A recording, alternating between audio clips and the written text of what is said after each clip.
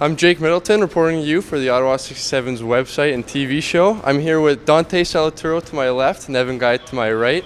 Tonight, or this morning against the Belleville Bulls, they combined for 10 points. Dante with five and uh, Nevin himself with five. Now, not to take away from your spotlight, Dante, because you are a skilled forward who is expected of this, but Nevin Guy, a, a powerful, strong defenseman like yourself, how do you feel about your performance this morning? Uh, it doesn't happen too often, and it's uh, pretty lucky, but I'll take it. You are right about that. It does not happen often. What about you, Dante? How do you feel? Well, obviously the kids find us up out there, and uh, uh, five points obviously feels good. But I think all the guys contributed this game, and uh, it's great. It's a great game. Now, I'm just checking my Twitterverse as we speak right now. I'm getting lots and lots of action on here. Um, Nevin Guy, first of all, there, there is a tweet that says, "This guy," hashtag, is the real deal.